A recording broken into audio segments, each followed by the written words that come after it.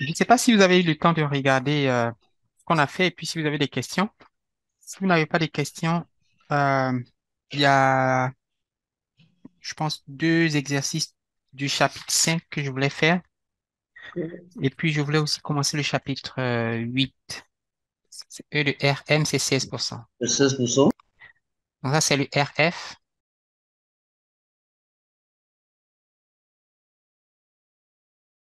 L'écart type, OK. Mhm. Donc ici, j'ai le marché, le sigma du marché, c'est 8%. 8%. Donc tu vois, je note ρ IM, c'est le coefficient de corrélation entre le titre I et puis le, le marché.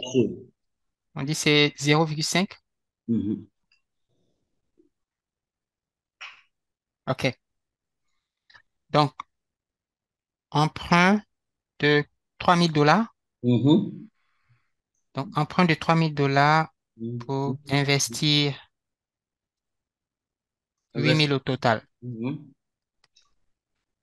Voilà. C'est ça. J'emprunte 3000 à la banque, mais mon capital propre, c'est 5000. Les dettes, on les a notées D. Et puis les fonds propres, c'est l'équité, c'est 5000. Donc, tu vois que l'ensemble de tes fonds ou l'ensemble de tes actifs, ce sont tes dettes plus tes fonds propres qui te donnent 8000. Quand on constitue un portefeuille, il faut qu'on sache la part du capital qui est alloué à un titre. Quels sont les titres qui sont dans mon portefeuille? Donc, avant d'arriver à la question, de quoi est composé ce portefeuille? Quels sont les actifs qui le composent? On a les bons du trésor. Donc, Ouais. ici, j'ai bon trésor. Oui. On dit, vous empruntez 3000 dollars au taux sûr afin d'investir un montant total de 8000 dans le portefeuille du marché. Si tu mets par exemple 10% dans les bons du trésor, il faut que tu mettes le reste quelque part. Oui, je reste quelque part. C'est le marché. On nous a donné les informations du marché. Le rendement du marché, c'est 16%. L'écart type du marché, c'est 8%. Donc, le marché, c'est un actif. On peut l'acheter et le vendre comme on vend euh, l'action d'une entreprise. Quel est le pourcentage que je mets dans le marché? Quel est le pourcentage que je mets dans le bon du trésor? Si on trouve ces pourcentages, on pourra trouver le rendement du portefeuille parce que tu te souviens de cette formule? Le rendement moyen du portefeuille, c'est le poids du marché Marché. fois le rendement du marché Mm. plus le poids du bon du trésor. Je vais l'appeler WF Mhm. fois le rendement du bon du trésor. Est-ce que ça va? Donc, notre problème, c'est de trouver les poids, les pondérations, les pourcentages. Tu as emprunté 3000 dollars, n'est-ce pas? Pour former un montant total de 8000. Les 8000 là, tu les investis dans quoi? Les 8000. Mhm. Tu les investis dans le marché. Les fonds propres de l'investisseur, c'est 5000. C'est 7000, oui. Si tu fais 8000 divisé par 5000, ça te donne combien? 1,6. 1,6. Nathalie, ça fait combien en pourcentage? 160%? Oui. Tu as emprunté 3000, donc c'est négatif, n'est-ce pas?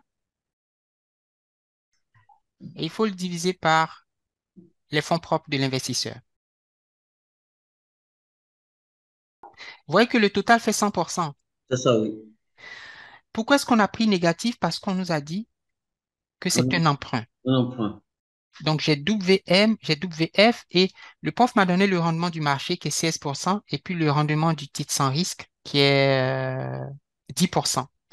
Le rendement du portefeuille, c'est ERP, mais je suis un peu fatigué d'écrire tout le temps EEE. Là, tu peux dire 1,6 fois 16%, c'est Euh, 0,16 0,16 plus.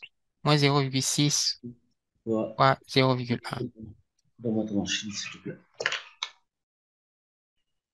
0,1960. Voilà, le portefeuille a un rendement moyen de 19,6%.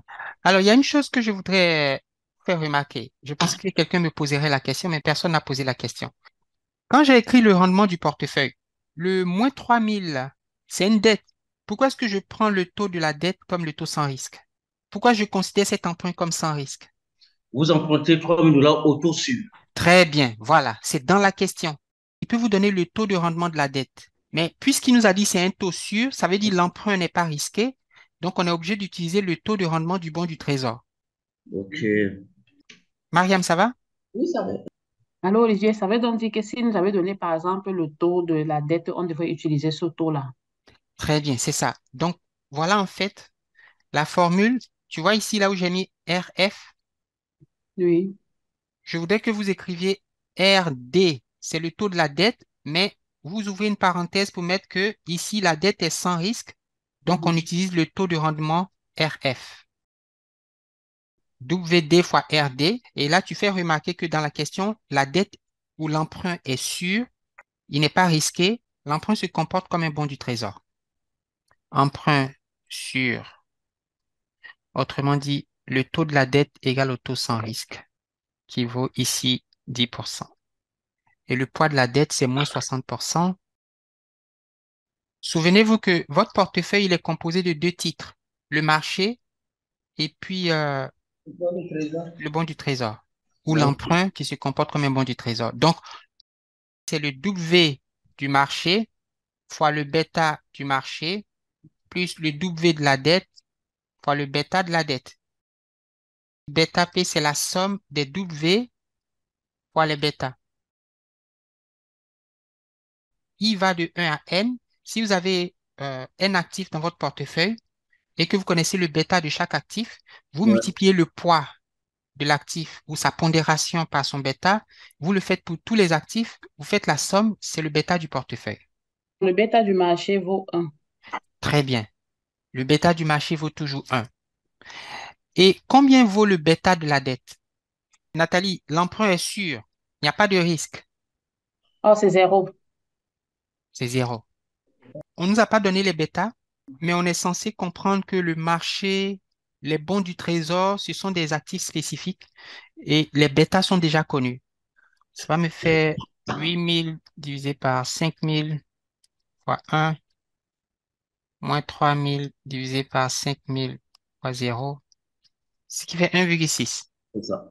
Voilà le bêta de notre portefeuille. Alors, si vous comparez ce portefeuille au marché, le portefeuille est plus risqué que le marché.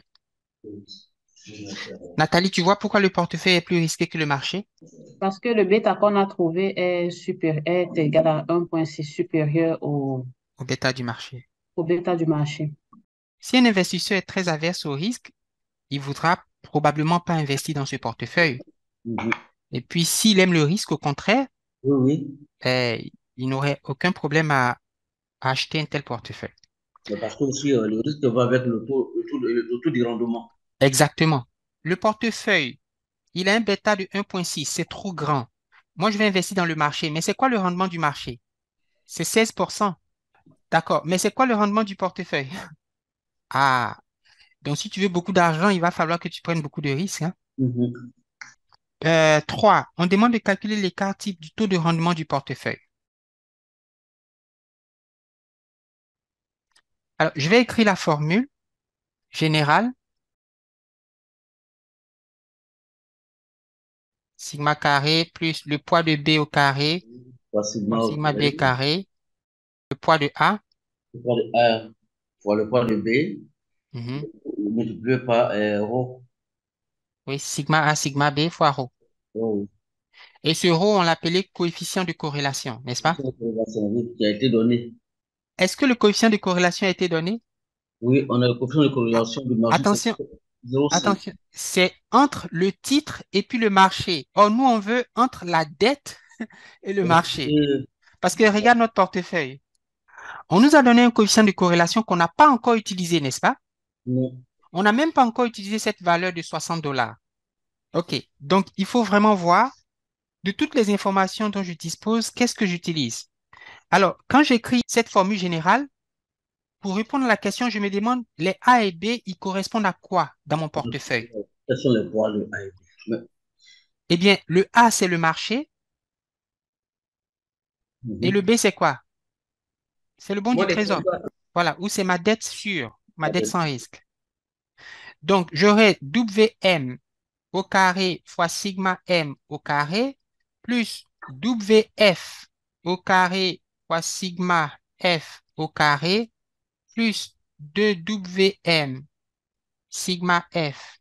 J'écris F à chaque fois que je pense au bon du trésor. Trésor, Sigma M, sigma F. Et puis le coefficient de corrélation entre quoi et quoi? le coefficient de corrélation entre le marché Oui, et puis le bon du trésor. très bien. C'est 1,6, c'est 160%. Le sigma du marché, c'est combien? C'est 8%, c'est bien. Donc 0,08 au carré, plus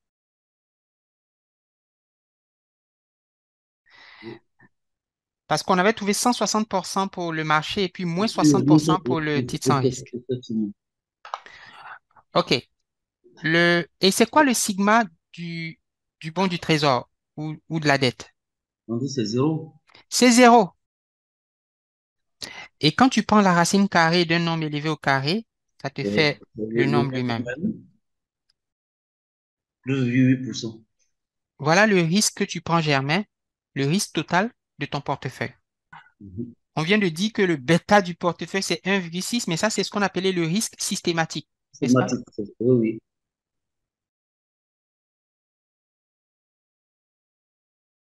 La volatilité du portefeuille, ou sa mesure de risque total, c'est son écart type, qui vaut ici 12,8%. Est-ce que ça va, Nathalie? Oui, Olivier, ça va, merci. OK. Eh, Vous êtes le seul groupe avec lequel j'utilise pas ça parce que je sais pas très bien comment. euh, Est-ce qu'il existe? Et soit dit en passant, la question n'a pas été posée dans cet exercice, mais je vais le mettre comme euh, petit 4. mhm.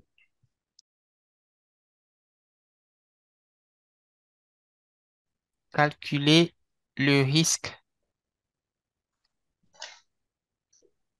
diversifiable du portefeuille.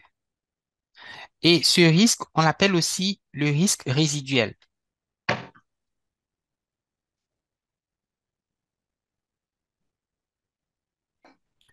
Donc, voici l'équation. Euh, la variance du portefeuille, c'est le bêta du portefeuille euh, au carré fois l'écart type du marché au carré 0,1280 au carré. Est-ce qu'on a le bêta du portefeuille? Oui. C'est 1,6. L'écart type du marché, c'est 8%. Oui.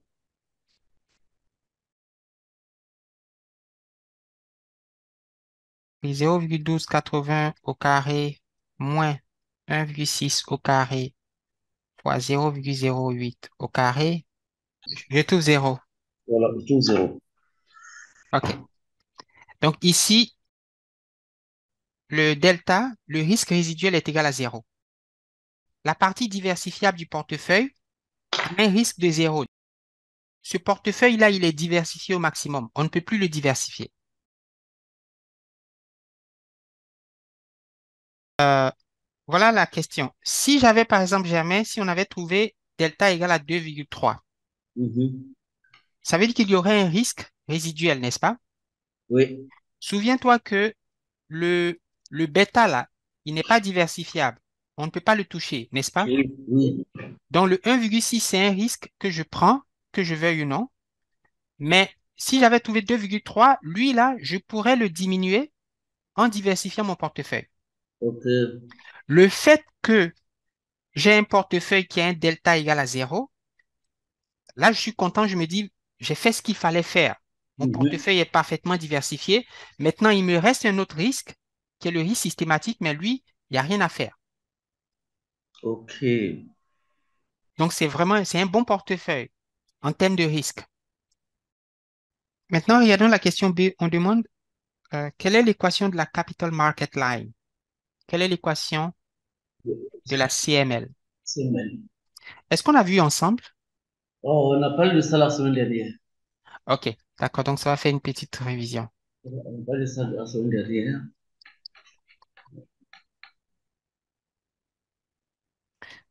À ne pas confondre avec euh, l'équation du MEDAF ou le CAPM.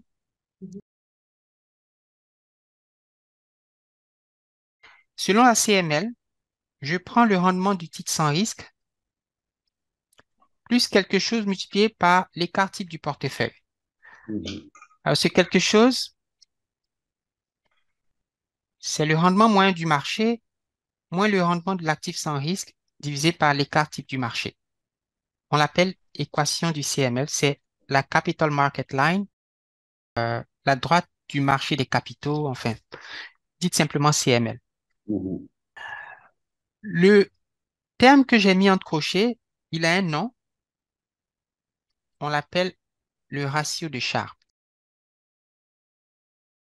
Le rendement du marché moins le rendement du titre sans risque divisé par l'écart type du marché.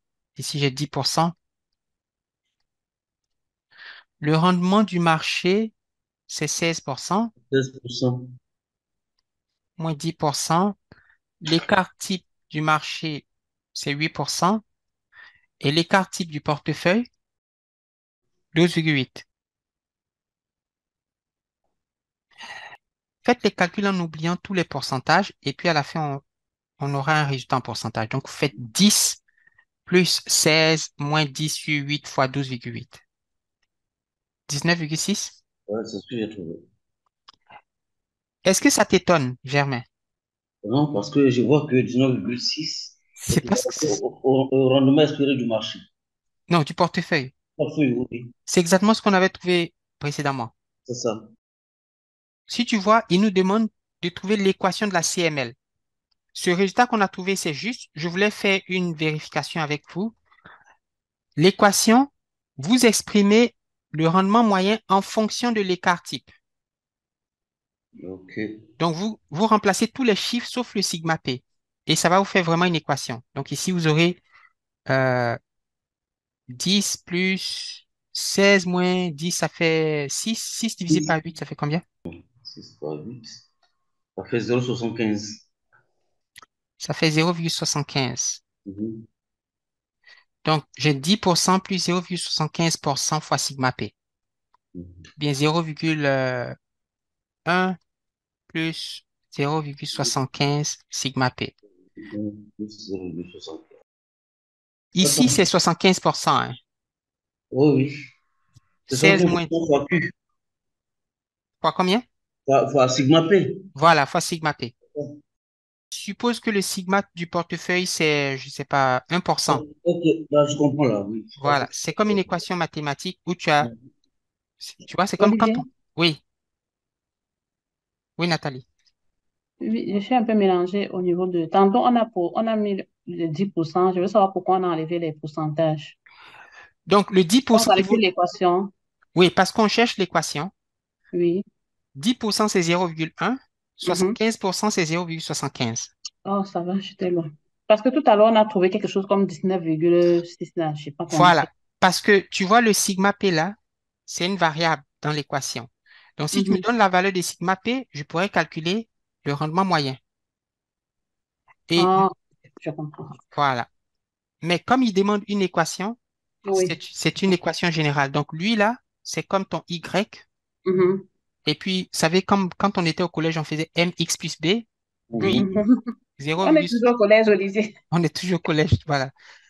0,75, le sigma, c'est comme ton x, et puis le 0,1, c'est comme, on l'appelle l'ordonnée à l'origine, la constante. C'est ça. Ouais, C'est cette équation qui cherche. C'est cette équation qu'il cherchait. Mais Olivier, pourquoi tout à l'heure, on a remplacé sigma... Ah, parce qu'on a remplacé sigma p par 12,8 parce qu'on connaissait la valeur, mais il nous a plutôt demandé l'équation. Le texte demande l'équation. L'équation, OK. Donc, on n'a pas besoin de... On n'a pas besoin de remplacer. Mais on a remplacé aussi Nathalie parce que quand on a trouvé la valeur, ça confirme le résultat qu'on avait trouvé précédemment. Mhm. On avait trouvé 19,6%. Donc, ça montre que nos calculs sont bons. OK. La question C. On demande. Olivier, je vais un peu revenir sur un petit, un petit détail sur la page de tantôt. Oui, OK. On a posé l'équation, on a utilisé plutôt le rendement, le RP. oui, pour trouver l'équation. Donc, en fait, on utilisait cette formule-ci pour trouver l'é- l'équation de, de la CML. c'est ça. Donc, euh, il n'y a pas une autre formule qu'on peut utiliser en dehors de celle-ci pour trouver cette équation-là. C'est la seule. Parfait, merci. Mhm. Et en fait, je vais ajouter encore une autre question. Donc ça, c'est aujourd'hui, c'est vraiment une révision de beaucoup de choses. Si à l'examen, après nous avoir demandé l'équation de la CML, il nous demande l'équation du CAPM. Supposons qu'il demande de trouver l'équation du CAPM, qu'on a aussi appelé l'équation du MEDAF. Nathalie, tu te souviens ce que MEDAF veut dire? Euh, je vais noter ça quelque part là. Les équations se ressemblent? Modèle d'évaluation des actifs financiers. Très bien. Modèle d'évaluation des actifs financiers. Alors, remplaçons 0,08 plus le rendement du marché. Marché, c'est 16%. Moins 0,08. Ouais. Je multiplie par bêta P.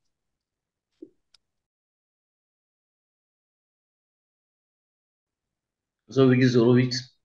0,08 bêta P. C'est comme si on avait mx plus b. 0,08 bêta P qui est comme ton x plus 0,08. Voilà l'équation du CAPM. Euh, et voyez comment ça diffère un peu du CML. Parce que le CML, lui, dit, donnez-moi les quatre types du portefeuille et je vous donne le rendement moyen, n'est-ce pas? Mhm. Le CAPM, il dit, donnez-moi le bêta du portefeuille et je vous donne le rendement moyen. Les deux font exactement la même chose, mais chacun opère sur euh, un risque différent. OK, c'était pas demandé, mais bon, c'est... Même c'est c'est important. Euh, alors, la question, c'est, quel est le bêta de la firme I? J'appelle toujours ça hein. Oui, le rho, le coefficient de corrélation. Oui, multiplié par les quatre types de la firme Oui, sur les quatre types du marché. très bien. Et tu vois, maintenant, ici, j'écris rho de IM, c'est la firme et puis le marché, n'est-ce pas? Oui. Jamais, on n'avait pas encore utilisé cette information, le 0,5. Non. Mhm. Et on n'a même pas encore utilisé le 60 dollars. Mais c'est parce que c'est Mm. pour les questions qui viennent. Et puis, je fais remarquer que quand on calculait l'écart type du portefeuille, vous voyez ce monsieur-là? Ce rho, c'est pas la même chose que le rho IM. Ça, c'est le rho entre le marché et puis la dette ou le bon du trésor. On n'en a pas eu besoin parce que l'écart type du titre sans risque est zéro, donc tout ce thème était égal à zéro. Donc, que vaut le bêta du titre? Le coefficient de corrélation, c'est 0,5. Mhm.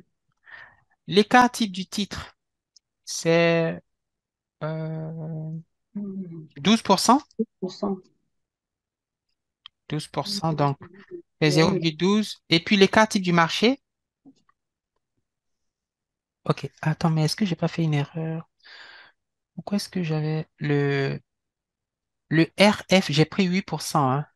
Non, le RF, on ne devait pas Oh, le RF, c'était 10%. C'était 10%. Ici, j'ai pris 0,08, c'était en fait 0, euh, zéro virgule dix. 0,10, voilà. Donc ça, c'est 0,1. Ça, c'est 0,1. Et ici, j'ai 0,1. Et 0,16 moins 0,1, ça fait, je pense, 0,06. zéro virgule zéro six. Et donc, on a 0,06 bêta P plus 0,1. OK. Et ici, l'écart type du marché, c'est 0,08. Alors ça, ça nous fait combien? 0,75, non, 75%. Voilà le bêta du titre, 0,75 ou 75%. OK. Petit d. Quel est le taux de rendement requis sur l'action de la firme?